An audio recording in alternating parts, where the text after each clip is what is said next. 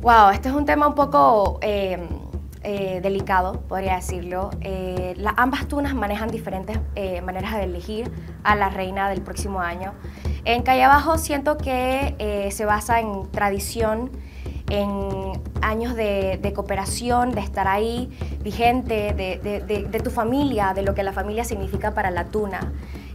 muchos años de preparación, muchos años de estar involucrado en la tuna, de que te vean, de que te quieran.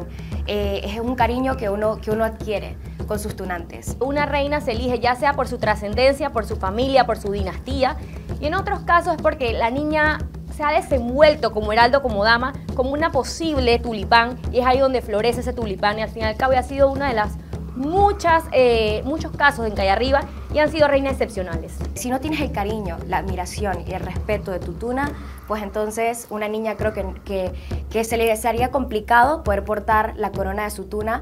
Em, y bueno, más que nada es algo que una niña que lo desee y que realmente lo viva y lo quiera. Porque para ser reina del carnaval tableño es algo que realmente te tiene que gustar.